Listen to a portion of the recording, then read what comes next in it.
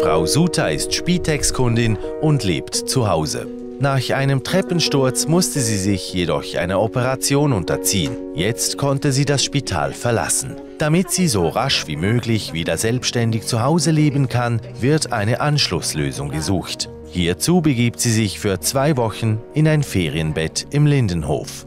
Ihre persönlichen Dokumente sind bereits im EPD, dem elektronischen Patientendossier, abgelegt.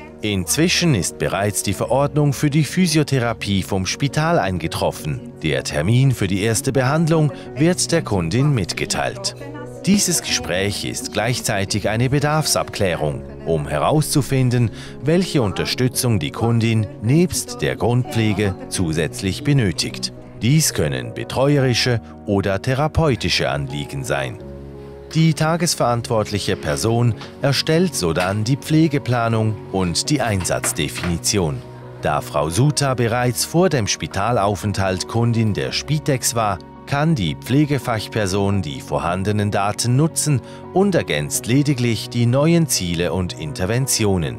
Letztere werden in der Pflege benötigt, damit das Personal genau weiß, welche Aufgaben ihnen zugeteilt und zu erledigen sind. Alle Daten der Kundin in Zusammenhang mit den geplanten ambulanten und stationären Leistungen werden in einem zentralen System verwaltet, dem Lindenhof Perigon.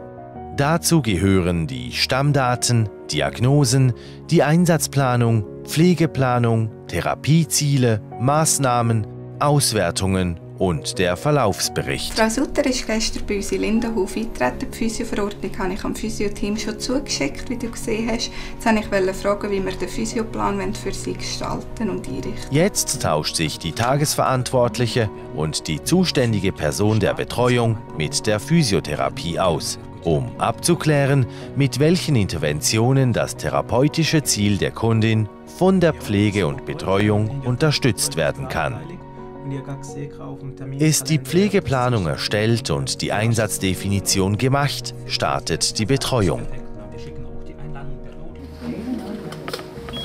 Sobald die Pflegende das Zimmer der Kundin betritt, wird automatisch der Name der Kundin angezeigt. Gleichzeitig startet die Arbeitszeiterfassung. Mit einem Klick auf den Namen sieht die Pflegende sämtliche Leistungen, welche in diesem Zimmer noch zu erledigen sind. Ausgeführte Arbeiten quittiert sie vorzu. Spezielle Beobachtungen kann sie via Handy direkt bei den einzelnen Leistungen eintragen. Kurz vor Ende der Ferienzeit wird der Austritt geplant. Weil Frau Sutter ja den Lindenhof wird verlassen wieder heimgehen und dann natürlich von der Spitex betreut wird. Welche Leistungen wird die Spitex übernehmen? Braucht es zusätzliche Dienstleistungen wie Mahlzeitendienst, Hauswirtschaft, Domizilbehandlungen der medizinischen Therapien oder sogar den Einsatz des ambulanten Tagesheims? Dank der zentralen Datenerfassung der stationären und ambulanten Dienstleistungen des Lindenhofs bleibt der Informationsfluss zwischen allen Abteilungen, die mit der Kundin in direkter Verbindung stehen, stets gewährleistet. Alle Leistungen werden umfassend aufgenommen und geplant.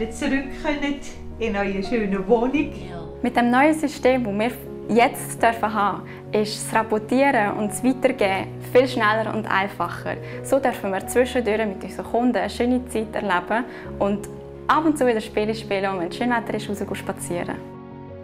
Das Lindenhof Perigon ist also Planungssystem für das Personal und deren Einsätze, Abrechnungssystem für alle Abteilungen sowie Auswertungssystem mit entsprechenden Dashboards, aus welchen alle wichtigen Informationen jederzeit in der nötigen Form entnommen werden können.